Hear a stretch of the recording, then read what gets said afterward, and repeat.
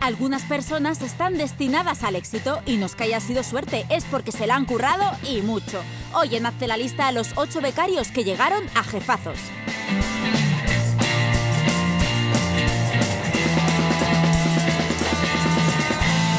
Denis Muhlenburg. En 1985, el recién licenciado en Ingeniería Aeronáutica entraba a trabajar como becario en Boeing, una de las mayores empresas aeronáuticas del mundo.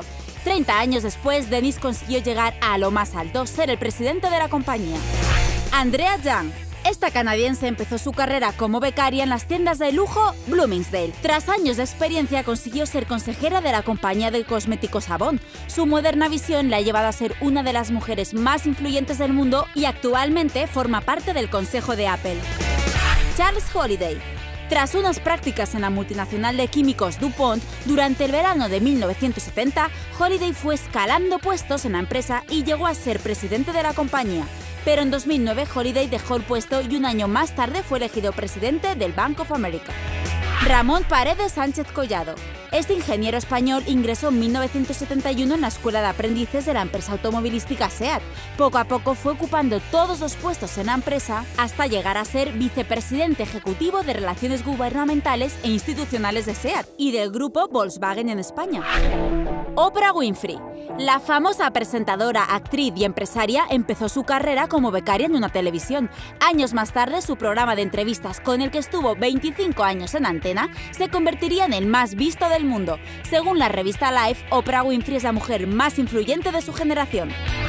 Eduardo Montes. Este ingeniero industrial entró como becario en 1975 en la multinacional Siemens. Llegó a ser presidente de la compañía en España en 2002 y en 2006 se sentaba en el Consejo de Administración Mundial. Según dijo en una entrevista, desde que entró como becario sabía que llegaría a presidir la compañía. Ferran Adrià, el genial chef español empezó a trabajar a los 18 años como friegaplatos en un hotel. Tras muchos años cocinando y aprendiendo, en 1987 pasó a ser el jefe de cocina del Buti, consiguiendo que fuese elegido el mejor restaurante del mundo durante seis años por el Restaurant Magazine.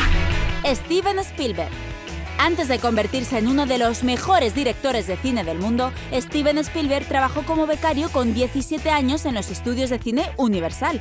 Spielberg rodó sin tener permiso su primer cortometraje en los platos de la productora y los directivos de Universal quedaron tan impresionados con la cinta que lo contrataron inmediatamente, siendo el director más joven del estudio.